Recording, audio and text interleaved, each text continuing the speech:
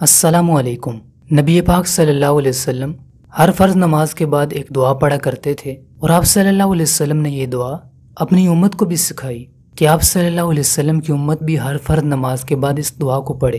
اس دعا کے اندر کیا ہے کہ یہ ہمیں پڑھنی چاہیے۔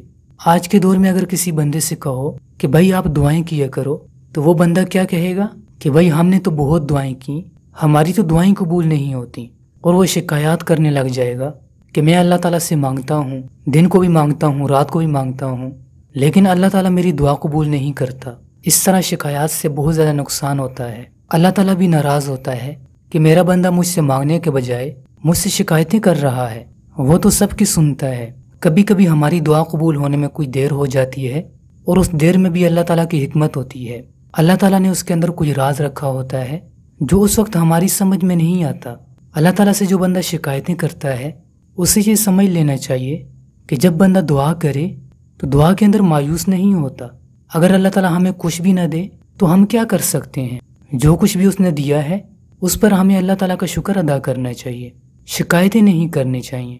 تو نبی پاک صلی اللہ علیہ وسلم جو دعا پڑھا کرتے تھے، اس کے اندر بندہ اللہ تعالیٰ سے مانگتا ہے اور امید ہے کہ اللہ تعالیٰ ایسے بندے کو عطا کر دے۔ وہ دعا اس طرح ہے، اللہم لا مانع لما اعطیت ولا معطي لما منعت ولا ينفع ذا الجد منك الجد۔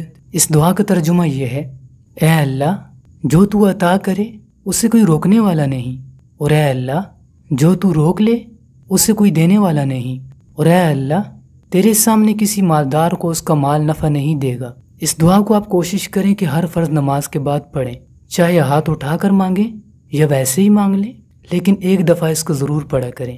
یہ پڑھنے کے بعد اللہ تعالیٰ سے مانگیں۔ انشاءاللہ آپ کی دعا ضرور قبول ہوگی۔ اس ویڈیو کو زیادہ سے زیادہ شیئر کریں اور چراغ جنت چینل کو سبسکرائب کرنے کے بعد بیل آئیکن کو ضرور دبائیں۔ السلام علیکم۔